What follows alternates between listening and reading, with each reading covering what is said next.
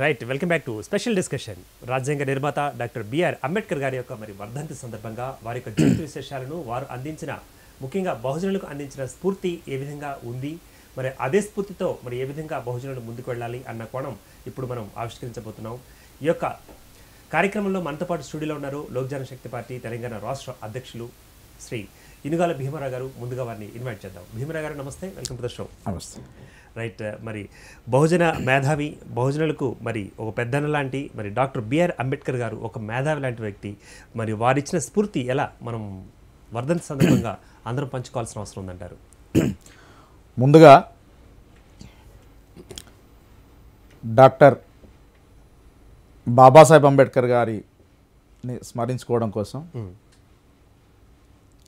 ఈ రాష్ట్రంలోనే అంటే తెలుగు రాష్ట్రాలలోనే కాదు దక్షిణ భారతదేశంలోనే పేరుగాంచినటువంటి ఒక పాటలో ఒక రెండు లైన్లు నేను చెప్పి ముందుకెళ్దాం. ఓకే.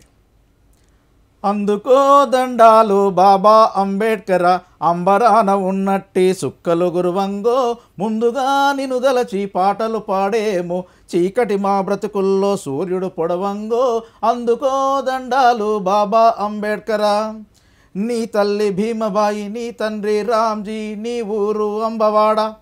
ఏప్రిల్ పద్నాలుగున పుట్టిన రోజంట ఈ దళిత జాతి పీడితులకు పండుగ రోజంటూ అందుకో దండాలు బాబా అంబేడ్కరా. ఇది మాస్టార్జీ గారు రాసినటువంటి పాటలో మొదటి పల్లవి. అదేవిధంగా వారు ఇంకొకటి రాశారు. వర్ధంతి నాడొచ్చి నోడు నాయన్న. జయంతి నాడు మళ్ళొచ్చి జై భీము జై భీము అంటూ నాయన్న పొంకానాలే కొడుతున్నాడు అంటే బాబాసాహెబ్ అంబేద్కర్ గారిని ఈరోజు భారతదేశంలోనే కాదు ప్రపంచవ్యాప్తంగా కూడా మరి గుర్తు చేసుకుంటూ వారు సూచించినటువంటి మార్గంలో మనిషిని మనిషిగా చూడవలసినటువంటి అంశం మీద ముందుకెళ్తా ఉన్నారు ప్రపంచంలో. కానీ భారతదేశ వ్యాప్తంగా ఏదైతే సిస్టమ్ ఉన్నదో ఈ దేశంలో కులం ఉన్నది. ఆ కులాన్ని ఏ విధంగా రూపుమాపాలో ఆ విధంగా కాకుండా ఈ సమాజంలో ఉన్నటువంటి మనుషుల్ని మనుషులుగా చూసేటువంటి క్రమంలో అంబేద్కర్ గారు ఏదైతే మార్గాన్ని సూచించిండ్రో అది చేయకుండా అంబేద్కరిస్టులు ఇంతకుముందు నేను చెప్పినట్టుగా మాస్టర్జీ గారు రాసినటువంటి పాటలో జయంతిలు వర్ధంతిలు వాడు మళ్ళీ ఎప్పుడు కనబడాడు. అంబేద్కరిస్టులుగా చలామణి అవుతున్నటువంటి నాయకులు ఎస్పెషల్లీ తెలుగు రాష్ట్రాలలో మళ్ళీ ఎప్పుడు కనబడరు.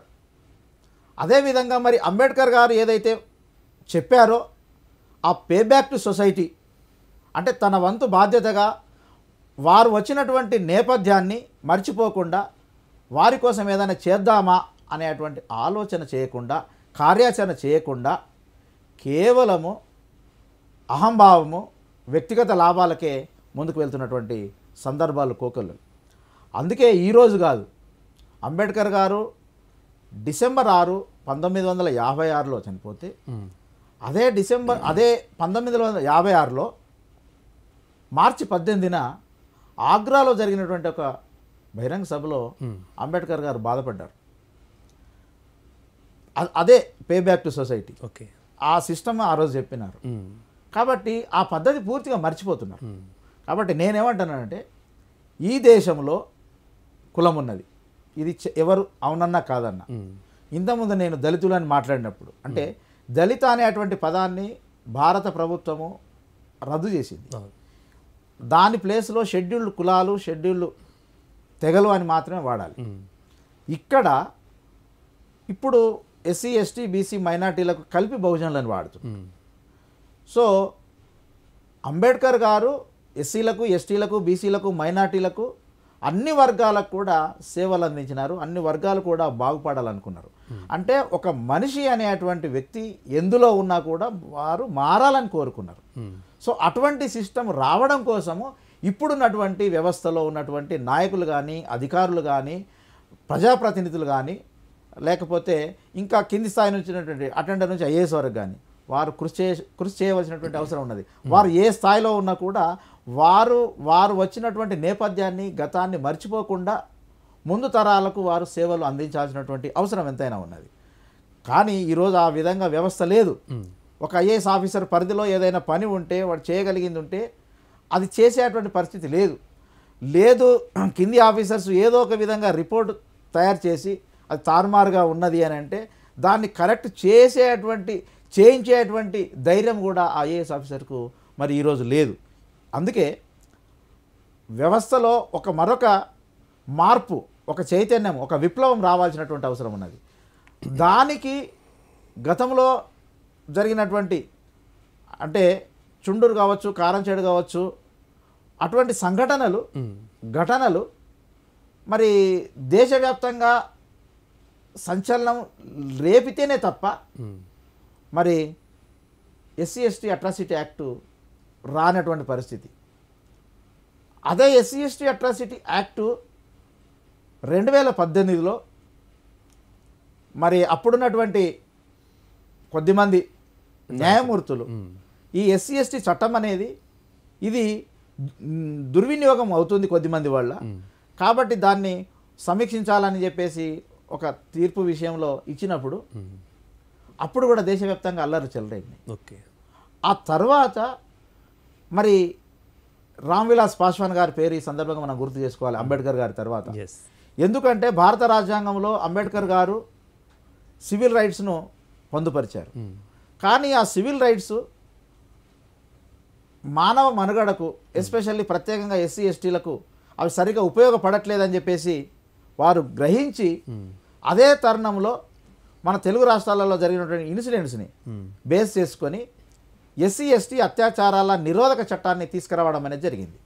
సో ఈ ఎస్సీ ఎస్టీ అత్యాచారాల నిరోధక చట్టాన్ని పకడ్బందీగా అంటే గతంలో ఎవరైనా కంప్లైంట్ చేస్తే పోలీస్ స్టేషన్లో అప్పుడు ఎఫ్ఐఆర్ చేయాలి అని అంటే ఆ ఏసీపీ లేదా డిఎస్పి స్థాయి అధికారి విచారణ చేసిన తర్వాతనే దాన్ని నమోదు చేసేటువంటి వాళ్ళు.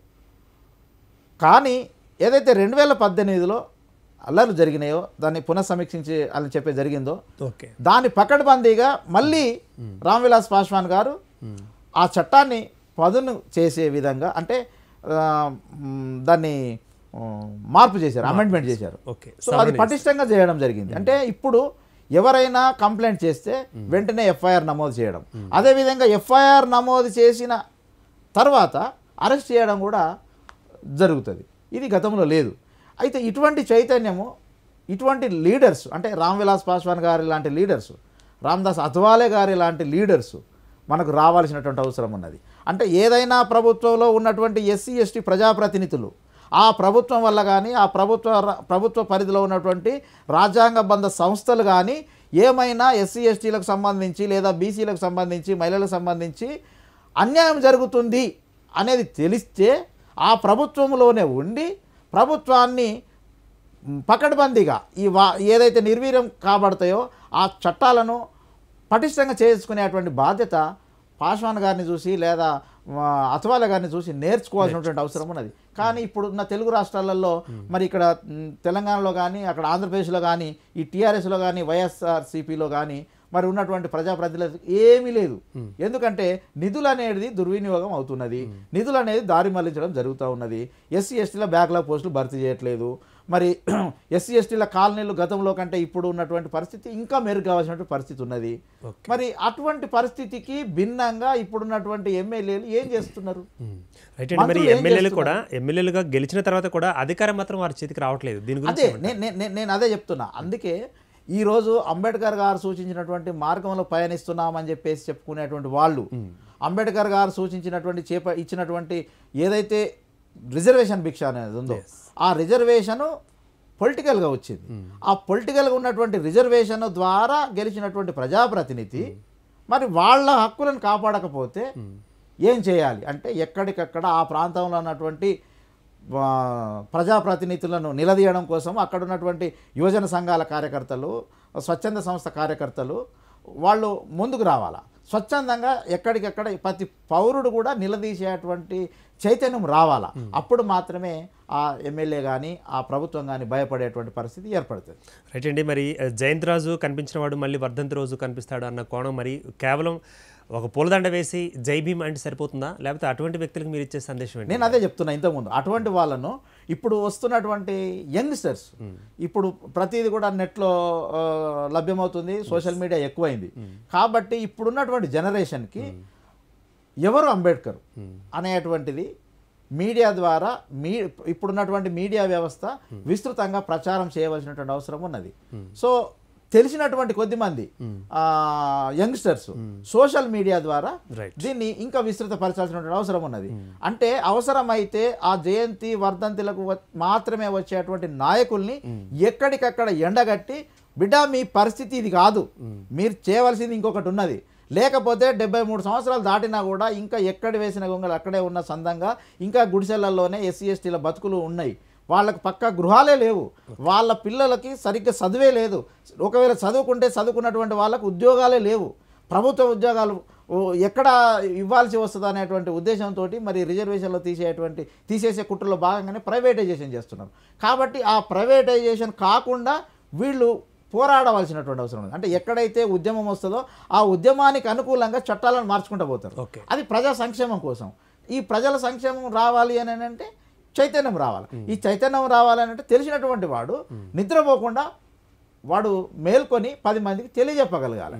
అటువంటి చైతన్యము ఈరోజు భారతదేశంలో మీరు మేల్కొని ఇప్పటికే రాజకీయ నాయకులు కానీ మంత్రులు కానీ మరి అసెంబ్లీ సాక్షిగా నిద్రపోతూనే ఉన్నారు. Hundred percent. వీడియోస్ కూడా చూస్తున్నాం హండ్రెడ్. పర్సెంట్. అంటే నిద్రపోవడం అంటే ఇప్పుడు వాళ్ళ ఆరోగ్యరీత్యా నిద్రపోతున్నారో ఏమో అది పాయింట్ కాదు నా ఉద్దేశంలో. అసెంబ్లీ వాళ్ళు ఏం చేయాలి అని అంటే వాళ్ళకు సంబంధించినటువంటి ఆయా ఎమ్మెల్యే పరిధిలో ఎంపీ పరిధిలో ఉన్నటువంటి పనులు ఏవైతుంటాయో అవి పకడ్బందీగా అమలు చేయాలి. చాలా లెక్కలు చేస్తే మనకు అది చేస్తున్నట్టు కనబడట్లేదు. రైట్ భీమరావు గారు మరి బిఆర్ అంబేద్కర్ గారి యొక్క వర్ధంతి సందర్భంగా మరి మీరు బహుజనులకు ఇచ్చే ఒక స్ఫూర్తిదాయకమైన ఒక వాక్యం. కనీసము రానున్న ఐదు సంవత్సరాలలో లేదా పది సంవత్సరాలలోనైనా ప్రజాప్రతినిధులను ఎన్నుకోవడం కోసము వాళ్ళకున్నటువంటి బ్రహ్మాండమైనటువంటి ఆయుధము రాజ్యాంగం ద్వారా కల్పించినటువంటి ఆయుధము ఓటు హక్కు. ఆ ఓటును నోట్లకి అమ్ముకోకుండా మద్యానికి అమ్ముకోకుండా ఇంకా ఎటువంటి ప్రలోభాలకు తలగకుండా స్వచ్ఛందంగా వాళ్ళకు పనిచేయగలిగేటువంటి నాయకుడిని ఎన్నుకున్నప్పుడు మాత్రమే దేశం బాగుపడుతుంది. కాబట్టి ఆ దిశగా యువత మహిళలు ప్రతి ఒక్కరు కూడా పయనించాల్సినటువంటి అవసరం ఉన్నది. రైట్ అండి good saying and well saying అండి. మరి నేటి బహుజనులకు నేటి ప్రభుత్వాలకు నేటి నాయకులు కూడా ఒక చక్కటి సందేశాన్ని అందించడం జరిగింది. భీమరా గారు thank you very much for coming నమస్తే. రైట్ మరి డాక్టర్ బిఆర్ అంబేద్కర్ గారి యొక్క వర్ధంతి సందర్భంగా మరి ఇనుగాల భీమరావు గారు వీరు లోక్ జనశక్తి పార్టీ తెలంగాణ రాష్ట్ర అధ్యక్షులు తమ యొక్క అభిప్రాయాన్ని వ్యక్తీకరించారు. అదేవిధంగా మరి అంబేద్కర్ గారి యొక్క ఆశయాలకు అనుగుణంగా అందరూ పనిచేయాలి అందరూ ఒకే వేదిక మీదకి రావాలి అందరూ ఒకే గొడుగు క్రిందకి రావాలి. ఆ గొడుగు మరి ఒకే వేదికగా మారబోతున్న ఏవైతే మరి స్వచ్ఛంద సంస్థలుగా ఉన్నాయో ఆ స్వచ్ఛంద సంస్థల యొక్క మరి వాటి వాటి వాటి క్రిందకు వచ్చి వారి యొక్క భావజాలాన్ని మరి ముందుకు తీసుకెళ్ళాల్సిన బాధ్యత నేటి యువతతో పాటు నాటి నాయకులకు నేటి ప్రభుత్వాలకు రాబోయే ప్రభుత్వాలకు కూడా ఉంది అంటూ తన యొక్క వ్యాఖ్యగా చెప్పడం జరిగింది. ఇది ఇవాళ స్పెషల్ ఎడిషన్. మరొక ఎడిషన్లో మళ్ళీ కలుద్దామంటే దాన్ని keep watching Master TV. If you like this video please like it share it and for more videos please subscribe to our channel